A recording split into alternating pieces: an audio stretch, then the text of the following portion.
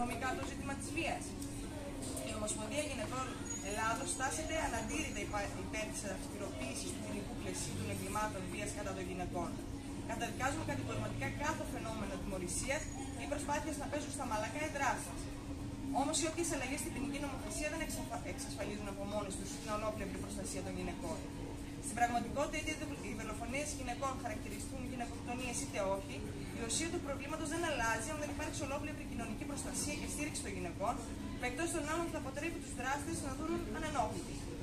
Αποκαλύπτουμε το κίνητρο της όψιμης ευαισθησίας περί βίας. Το κίνητρο της ε, ναι. όψιμης ευαισθησίας της Ευρωπαϊκής Ένωσης των κυβερνήσεων των επιχειρηματικών ομήλων είναι ότι το κόστος από τη βία κατά των γυναικών υπολογίζεται ότι φτάνει τα 286 δισεκατομμύρια ευρώ τον χρόνο. Αποκαλυπτικό είναι το ψήφισμα του Ευρωπαϊκού Κοινοβουλίου που επιμερίζει το κόστος στην υγειονομική περίθαλψη, στην αυξημένη χρήση της ποινική δικαιοσύνης, αστυνομία, εισαγγελία κλπ., στις υπηρεσίες προστασίας των παιδιών, στη χαμένη παραγωγή λόγω χαμένων ημερών εργασίας και χαμηλότερης παραγωγικότητας. Και σε αυτό το παιχνίδι παίρνουν και μεγάλοι επιχειρηματικοί όμιλοι, μη, μη κυβερνητικές οργανώσεις, ακόμα και καλλιτέχνες ακτιβιστέ. Πρόσφατο παράδειγμα είναι για αυτό τη Lacta που έβγαλε εν όψει και της αυριανής ημέρας ε, μία μικρή ταινία όπου παρά τη φιλότιμη θα πούμε προσπάθεια δεν χτυπούν την ουσία του προβλήματος, όπως επίσης και η καμπάνια του Ιταλού καλλιτέχνη και ακτιβιστή Αλεσάνδρο Παλόμπο που εικονίζει διάσημες γυναίκες πολιτικούς χτυπημένες από την οικογενειακή βία.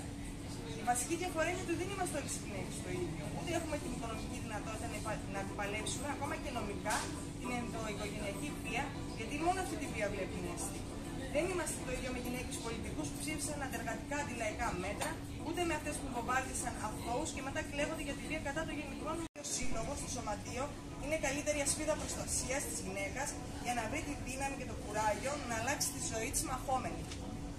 Διεκδικούμε λοιπόν μέτρα στήριξης των άνεργων γυναικών, επίδομα ενεργεία χωρίς όρους και προποθέσει, των γυναικών από μονογονεϊκές και πολύτεκνες οικογένειες, μόνιμη και σταθερή δουλειά με αξιοπρεπείς μεσθού, κατοχυρωμένε από συλλογικέ συμβάσεις εργασίας, πλήρη εργασιακά και ασφαλιστικά δικαιώματα για να μπορέσουν οι γυναίκες να σταθούν αξιοπρέπεια στα πόδια τους και να πάρουν τη ζωή στα χέρια τους. Χρηματοδότηση από τον κρατικό προπολογισμό για τη λειτουργία των κρατικών κοινωνικών υπηρεσιών και υποδομών για την πρόληψη του φαινόμενου της βίας κατά των γυναικών και για τη στήριξη των κακοποιημένων γυναικών, ξενώνοντα τηλεφωνικές γραμμές και άλλα. Με την άμεση και πλήρη στελέχωσή τους από εξειδικευμένο προσωπικό, με μόνιμη και σταθερή εργασία, χωρίς καμιά εμπλοκή μη κυβερνητικών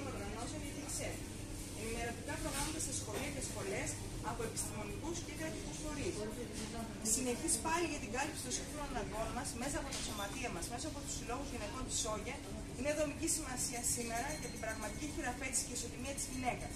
Οργανωνόμαστε, μαζικοποιούμε το γυναικείο ριζοσπαστικό κίνημα, παλεύουμε μέσα από αυτό και κλιμακώνουμε τον αγώνα μας για δουλειά και ζωή με δικαιώματα με βάση τις σύγχρονες ανάγκες μας.